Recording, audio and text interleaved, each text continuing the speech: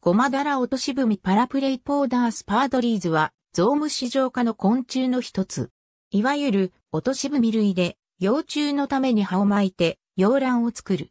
黄色い体に黒い斑紋がある。体長は興奮を除いて6.5から8ミリメートル程度。全体に気褐色で頭部や全強背、小立て板、全肢、その他腹部や不足に多数の黒い斑紋がある。ただしこの斑紋は個体差で大小があり、小さい場合にはほぼ全体が黄色に見え、大きい場合は互いにつながっていたり時にはほぼ全体に真っ黒な個体が出現する。このような体色の変異は幼虫時代の湿度によるとされている。頭部は腹眼の後方が半円形となっており、頭部の前方上側に一つの縦溝がある。腹眼は黒い。触覚は短くて、先端の玉幹部は黒い。全強背は長さが幅より小さく、全体に縮んだような粗大な天国があり、中央に一つの縦溝がある。前肢は左右それぞれに4条の縦向き隆起線があり、それらの間には粗大な天国の列がある。なお、メスの前肢の前の円の横側、肩の部分には斜め内側に突き出した小さな突起があり、オスには第一脚の強節全端に針状になった小さな突起がある。これは交尾の際に役立つ構造で、メスの背後に乗ったオスが第一脚の針状突起をメスの前肢全端の突起に引っ掛けることで体を固定することができるという。食草とするのは栗、くぬぎ、アベマキ、コナラ、水なら、ブナ、ヤシャブシ、ヤマハンノキ、ミヤマハンノキ、サワシバなどである。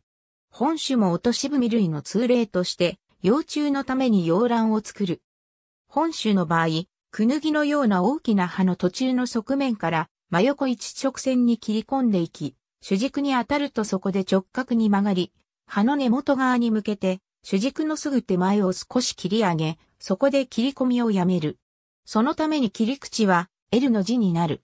その後、切り込みを止めた位置の主軸に紙傷を入れ、それより先を先端から巻いてゆく。出来上がった洋卵は、そのために葉の半分の幅で元の葉と連絡しており、簡単にはしおれないし落ちない。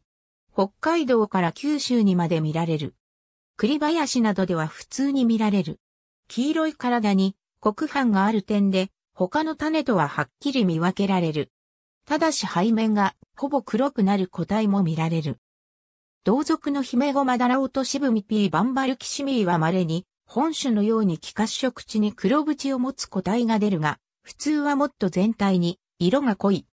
またこの種は体長が6から7ミリメートルとやや小さく、それに全種背面に大きなコブ状突起があることで区別できる。食草に栗を選ぶことから栗の害虫と言えなくはないが、防除を必要とするような被害を与えるものではない。以下、石井放火編 P1286 安田、沢田 P28 安田、沢田 P29 安田、沢田 P28 以下、安田、沢田 P29、林田編長 P257 安田、沢田 P28 以下、安田、沢田 P28、P30、梅谷、岡田編 P533。ありがとうございます。